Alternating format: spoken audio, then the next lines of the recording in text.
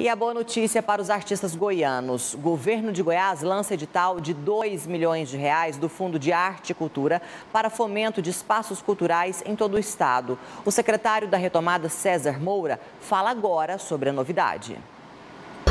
Nesse momento, a gente está apoiando palcos permanentes e festivais. A gente está vendo a importância de manter esses espaços culturais para quando a pandemia acabar, os nossos artistas tenham onde se apresentar e apresentar suas artes. Então, e outro ponto importante, a gente precisa valorizar a manutenção da mão de obra. Então, nos empregos, nesse edital, é um foco principal, é manter a mão de obra nesses espaços e salvar esses empregos. Então, esse foi o foco, é um projeto novo, o governador Ronaldo Caiado pediu toda a dedicação e a gente pede atenção de todos os proponentes, entre no site, ele está desburocratizado, nós vamos fazer quatro lives para poder explicar e tirar dúvida de toda a população. Então, um FAC, um Fundo de Arte e Cultura para todo o Estado.